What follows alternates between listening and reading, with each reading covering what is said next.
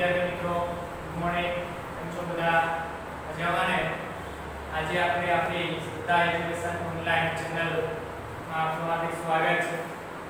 આજે આપણે ધોરણ 12 વિષય અર્થશાસ્ત્ર ચેપ્ટર 3 નાનું અને ફુગાવ.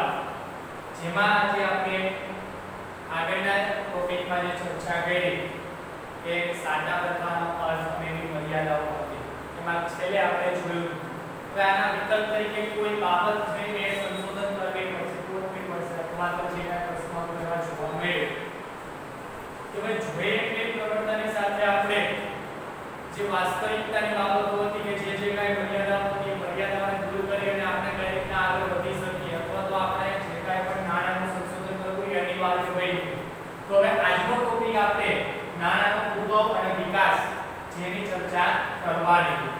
કે નાના ઉદ્ભવ અને વિકાસમાં તમે સાચા પ્રકારની મર્યાદાઓ હતી સાચા પ્રકારની જે બાબત જોઈ, એને દૂર કરવા માટે નાણું અસ્તિત્વમાં આવે. તે કઈ રીતના ઉદ્ભવ અને વિકાસ થયો છે તે જોઈએ.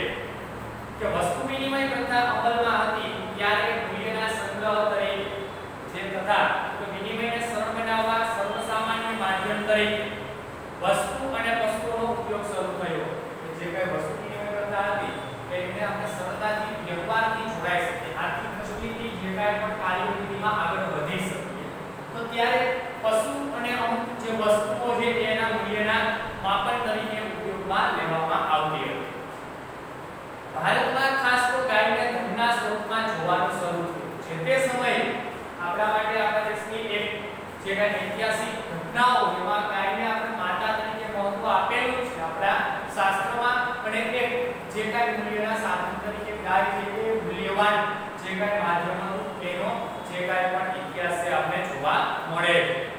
ખેતી પ્રધાન અર્થવ્યવસ્થામાં અનાજનું ઉત્પાદન હતું વર્તમાન વપરાશ માટેનું અનાજ બાદ કરી વધેલા અનાજથી પશુ ખરીદવામાં આવતા. જેમ અત્યારે આપણે કહીએ કે કિંમતી વાત તો કે ઝવેરાત અને ગોલ્ડ માટે જે પૈસા વધે તો કે સેફ ઇન્વેસ્ટમેન્ટ તો એ સમયમાં પણ આપણો દેશ ખેતી પ્રધાન પહેલેથી છે. તો જે ઉત્પાદન અનાજનું કરવામાં આવતું. ત્યાર પછી વર્ષ દરમિયાન જે કાંઈ પણ જોઈતું અનાજ છે તે રાખી મૂકવામાં આવતું અને બાકીના અનાજ તો કે જે કાંઈ પણ પશુ ખરીદવા માટે કે જે કાંઈ મૂલ્યવાન તરીકે ઓળખાતું એટલા માટે પશુ ખરીદી કરવામાં આવતી. અને જરૂર પડે પશુને વેચી અનાજ પાછું મેળવવા. અને પછી ક્યારેક એની જરૂરિયાત પડે, સમય દરમિયાન વર્ષો પછી અથવા મંથ પછી, તો ત્યારે પશુને પાછી ફરીથી વેચી અને જે કાંઈ જરૂરિયાત માટે અનાજ હોય અથવા તો વસ્તુ હોય કે સેવા હોય તે ખરીદી શકતા હતા અને પોતપોતાની જરૂરિયાત એમાંથી સંતોષી શકતા હતા. તો આ પ્રમાણે વ્યક્તિ અનાજના બદલામાં પશુ મેળવતો અને પશુ આપી કોઈ પણ જરૂરિયાત મેળવતો આમ ગાય, ભેંસ, ઘોડા જેવા પશુ વિનિમયનું માધ્યમ બનતા કે મૂલ્યવાન સંગ્રહ બનતા હતા.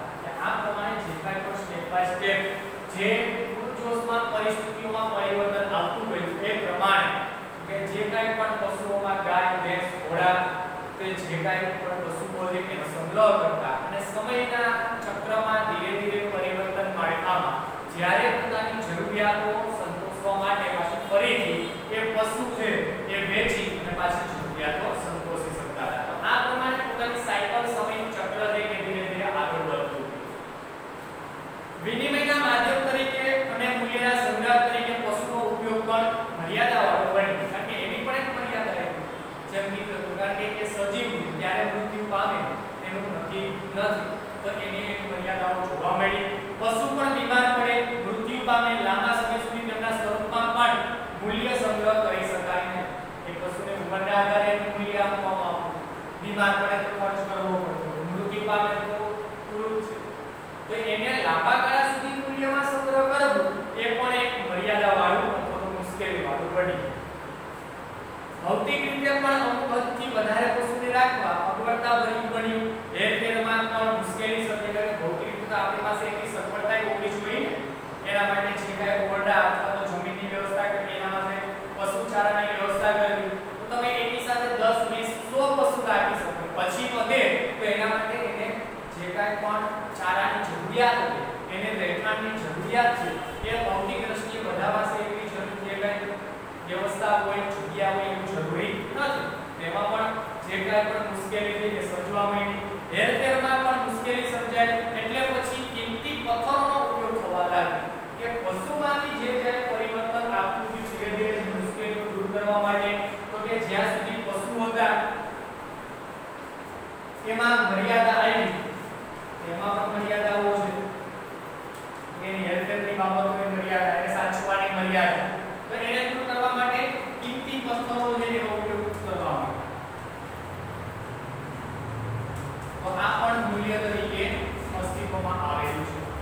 કે પશુ પછી સમયગાળો કેટલો આવ્યો? તો આપણે જોતા હોય પશુ પૂર્વે જે કાંઈ પણ પથરાઓ છે અથવા જે કાંઈ પણ નોટરૂપી જે કાંઈ પણ સિગ્નેચર સાઇન વાળા જે પથ્થરો છે, એને આપણે મૂલ્ય તરીકે સ્વીકાર્યા. રાજસ્થાનની વ્યવસ્થામાં આવતા સિક્કાઓની શરૂઆત કરીને રાજધાની તથા નગરોના સિક્કાઓ વિનિમયના માધ્યમ તરીકે કામ શરૂ થયું પણ તેનો ઉપયોગ ખૂબ મર્યાદિત વિસ્તારોને, લોકોમાં થતો હતો. ત્યાર પછી રાજાશાહી શાસન આવ્યું. રાજાશાહી વ્યવસ્થામાં એટલે સિક્કાઓ સિક્કાઓનું કરવા આવ્યું પણ એ પણ મર્યાદિત હતું સિક્કાઓનો જે કાંઈ ઉપયોગ છે તો કે એ પણ એક લિમિટેશન હતી કે તમે જે રાજ્યમાં વસો ત્યાં પૂરતા જ એ જે કાંઈ ચલણી સિક્કાઓ અથવા તો માર્ક કરેલો કે સાઇન કરેલો હોય તો એ સિક્કાઓ પણ એક વ્યવસ્થા અને જે કાંઈ પણ લોકોની બીજા રાજ્યમાં જાય પાછું ત્યાં એ ચલણ ન થતું જેમ અત્યારે છે કે આપણે અહીંથી આપણો રૂપિયો જે આપણા દેશમાં ગમે તે તમે ઉપયોગ કરી શકો અમેરિકા જાવ તો તમારે અહીંથી જે કાંઈ પણ નિયત કરેલી એક જગ્યાથી નાણાં ટ્રાન્સફર કરવા પડશે ડોલરમાં. પણ ત્યારે એવી વ્યવસ્થા નહોતી બીજા રાજ્યમાં જાય ત્યાં તમે નક્કી કરો એ તમને મળે. તો એ એની મર્યાદા આમાં પણ વધારે સુધારો કરવાની જરૂરિયાત થઈ અને લોકશાહીનો ઉદ્ભવ તથા ઔદ્યોગિકરણ આધુનિક નાણાના સ્વરૂપ માટે મોટું પ્રેરક બળ અને ધીરે ધીરે માણસો પોતપોતાની જરૂરિયાત, પોતપોતાના મંતવ્યો અને પોતપોતાની જે પરિસ્થિતિ, ઔદ્યોગિક સામગ્રીઓ, ધીરે ધીરે જે અર્થવ્યવસ્થા એ બદલાતી ગઈ, કેન્દ્રીય સત્તાના પીઠબળથી બહાર પાડવામાં આવનાર નાણાંને સર્વમાન્ય સ્વીકૃતિ મળી પછી જે કાંઈ પણ અત્યારે આપણે જે નાણાંનો ઉપયોગ કરીએ છીએ. એ કેન્દ્રીય સરકાર દ્વારા આખા દેશ માટે એક ચલણ નક્કી કરવામાં આવ્યું. એમાં સેવા ક્ષેત્ર, ઉદ્યોગ ક્ષેત્ર અને જે કૃષિ ક્ષેત્ર એ ત્રણે ત્રણ જે આખા દેશ માટે ઉપયોગી બન્યા. વિનિમયના માધ્યમ તરીકે તેને ઝડપભેર માન્યતા મેળવી. મૂલ્યના સંગ્રહમાં પણ આધુનિક નાણું જ વધારે સફળ રહ્યું. બેન્કિંગ વ્યવસાયના વિકાસે મૂલ્યના સંગ્રહ તથા સ્થળાંતરને ઝડપી તથા સરળ બનાવ્યું અને આ પ્રમાણે જે કાંઈ પણ કેન્દ્રીય સરકાર દ્વારા પીઠબળ પૂરું પાડી અને કેન્દ્ર તરફથી જે નાણાકીય નીતિઓ ચલણ માટેની જે વ્યવસ્થા અલગ અલગ જે કાંઈ પણ જરૂરિયાતો હતી તો આપણે જોયું કે નાણાંનો ઉદ્ભવ આવી મર્યાદાઓને કારણે નાણું જે આપણી અર્થવ્યવસ્થામાં સ્વીકાર્ય બન્યું અને જેને કારણે આપણી જે મર્યાદાઓ એ દૂર થઈ અને નાણાંનો ઉદ્ભવ અને વિકાસ ઝડપથી જે આધુનિકતા નાણા તરફ જે રસ્તા ઉપર જે જરૂરિયાતોની જે ઉદ્યોગ, સેવા અને કૃષિ ક્ષેત્ર માટે તરત અથવા તો આવનારા સમયમાં સ્વીકૃત, ધારણ કરી લીધું અને સર્વમાન્ય સ્વીકારવામાં આવ્યું. તો આ